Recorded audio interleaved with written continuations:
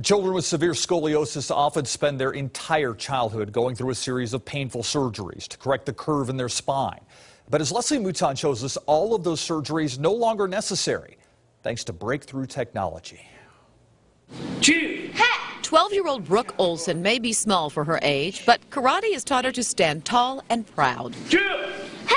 You'd never guess that just a few months earlier, Brooke had a hard time standing at all. Her scars have healed really nicely. Inside Brooke's back are two titanium growing rods, surgically implanted to correct the curve in her spine that worsened to 60 degrees last year. Her back was in pain pretty much all the time at that point, wasn't it? Traditional treatment would have required Brooke to undergo surgery to lengthen the rods every six months until she stopped growing. So that would have been, you know, 10 surgeries she might have had to have. But Brooke was one of the first patients to have magnetic growing rods implanted. Now, instead of surgery, her doctors use a non invasive magnetic remote control to adjust them. Did it hurt? No, No. What did it feel like? feel like tickled. It tickled when you got the extensions? Mm-hmm. Yeah.